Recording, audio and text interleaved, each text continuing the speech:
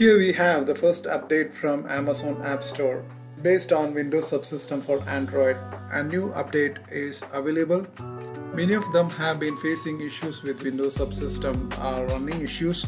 So the update is here so you can go and update it from the App Store. I'll show you how you can do that and install the latest apps and games from the App Store.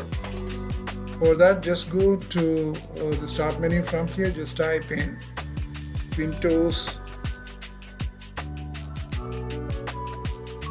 subsystem. You'll get it here. What you have to do is just right click on it and just go to the app settings.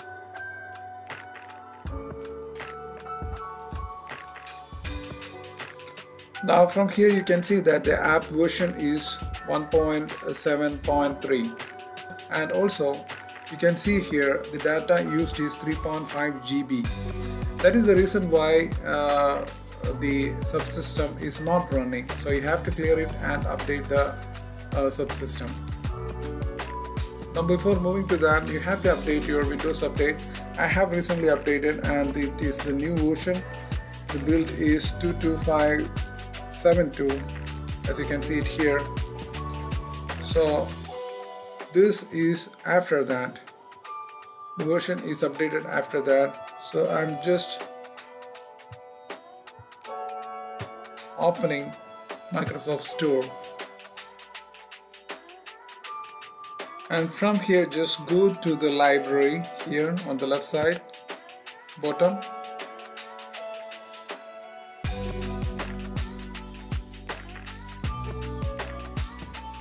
Now here you can see that the Windows subsystem for Android is here and the last modified is on uh, 1221.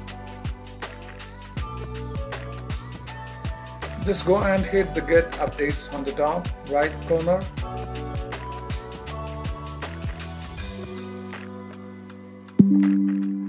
Now once the update is completed, just go and click uh, the Windows subsystem here, just open it.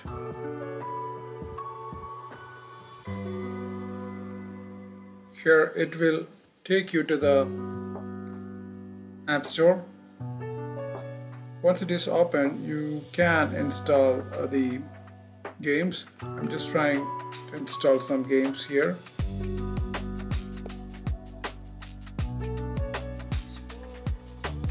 Let me open it. Yeah cool. It's working right now This is how you can uh, update and restore the Windows subsystem for Android in uh, the latest update. Thanks for watching this video. Please subscribe, like and share. Thank you.